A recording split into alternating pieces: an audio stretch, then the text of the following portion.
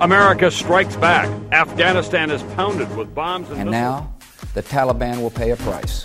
To all the men and women in our military, every sailor, every soldier, every airman, every Coast Guardsman, every Marine, I say this your mission is defined, your objectives are clear, your goal is just.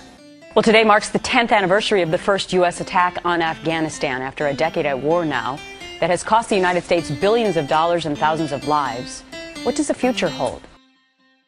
In Afghanistan, more than half a million of our sons and daughters have sacrificed to protect our country. Despite initial success, for a number of reasons, this war has taken longer than most anticipated. they will not achieve anything, just as they have not achieved anything in the past seven years. I stand by those words Afghanistan is still just the beginning.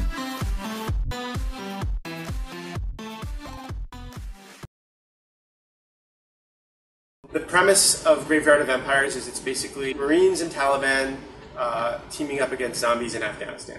Marines and Taliban teaming up against zombies in Afghanistan. So the opening page, we're focusing on Afghanis who are harvesting the poppy seed.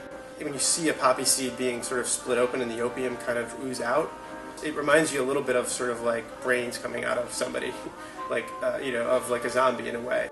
I got good news and bad news, girls. The good news is your dates are here. What's the bad news? They're dead. And the biggest question that people would ask me when you know when I'm pitching it or when people come up to me at cons is always, okay, why are there zombies? Um, and I think the assumption has always been zombies will be a way to have it sell. No, the reason I had zombies in this was because it's the idea of something I read about. It's in, it's insurgent math, and it's, it's it's part of counterinsurgency theory. And the idea is for every insurgent you kill, you create 10 more because you've pissed off his friends and his family and his community. I felt like zombies actually worked as a metaphor for that. If you kill somebody in a place where the dead are coming back to life, you're going to create 10 more zombies because that zombie is going to come back to life and bite and infect like 10 other people. You know, Paul Azaceta and I, we worked together on Grounded. We've been trying to work on something since. We just have some something that I wish I could even define, but it seems like we've got a great chemistry together. I'm growing less and less satisfied with you two. As often as your missions are successful, the net results include two or three cadavers butchered beyond recognition. For whatever reason, he really jumped at uh, at what became Graveyard of Empires. I think he really liked the idea of doing a war comic because there's there, there really haven't been that many of them done like in recent years, especially in, in like mo- a modern war comic. But you know, Paul has an innate storytelling ability. You know, his big thing was he wanted to make sure that if we're going to do something with zombies, like, everything else was grounded and felt real. If you want them to buy zombies, you then can't have the, them doing re- unrealistic things militarily.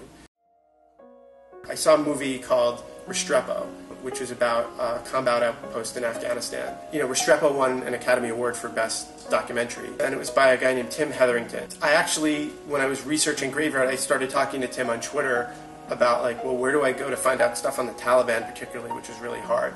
You know, the idea that anybody that won an Academy Award would give me time was amazing, and unfortunately, um, right before Graveyard of Empires came out, Tim Hetherington was actually killed in Libya when I was researching the Taliban, I mean, and, you see what motivates almost everything there, it's it's almost all about the opium. I mean, yes, there's a religious component. There's a tribal component that I think is more important than the religious component to what motivates them. But you know, they make their living from harvesting poppy. A lot of it is just comes down to, to money and you know losing your farm. And, and now the Taliban comes and pays you Um, because they've got lots of drug money. I mean, it's a landlocked country that's got Iran on one side and Pakistan on the other, and what else is there to do there? You know, there, there's there's no there's no industry.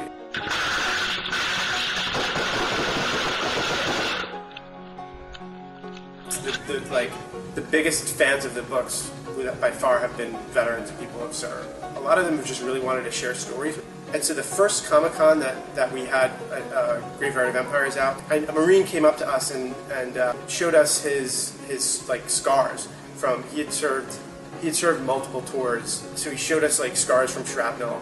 And what he wanted was the, the cover of Graveyard of Empires is a uh, you know it's a skull with a with a poppy growing out of it. And he asked Paul and I could he use that as a tattoo. What he said he wanted to do was have the in the roots of the poppies he wanted to put the soldiers uh, the Marines that he that had, that had been lost uh, in Afghanistan. He wanted to put their names there, and that was just like incredibly moving.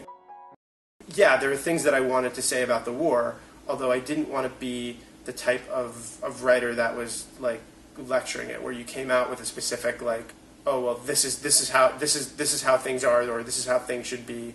All I hoped to walk away with was like people would be like, wow, I, I don't really know what's going on over there. Let me let me read about it more, um, and you know maybe maybe think a little bit critically about it. But I I think. I don't know. I'm always wary about having those kinds of goals as a writer. I think it's just if I can entertain somebody, that's like anything beyond that is, you know, it's uh, like it's gravy. What's the problem? Come on, I'll take you home.